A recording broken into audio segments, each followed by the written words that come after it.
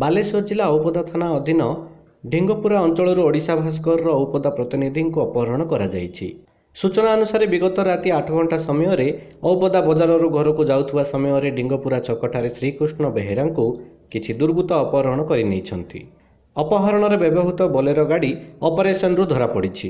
କିନ୍ତୁ ବର୍ତ୍ତମାନ ସୁଦ୍ଧା ଅପହୃତ ବ୍ୟକ୍ତିଙ୍କୁ ପୋଲିସ ହେଫାଜତକୁ ଆସିନଥିବା ଜଣାପଡ଼ିଛି। କିନ୍ତୁ ବିଶ୍ୱସ୍ତ ସୂତ୍ରରୁ ମିଳିଥିବା ଖବର ଅନୁସାରେ ଗ୍ୟାଙ୍ଗକୁ ଧରିବା ପାଇଁ ଏକ ଟିମ୍ ଗଠନ କରି ଅପରାଧୀଙ୍କୁ କାବୁ କରିବାରେ ସଫଳ ହେବାକୁ ଯାଉଛି ପୋଲିସ ବାଲେଶ୍ୱର ଜିଲ୍ଲା ଔପଦାରୁ ସାବିତ୍ରୀ ବାରିକଙ୍କ ରିପୋର୍ଟ ଉତ୍କଳ ଖବର।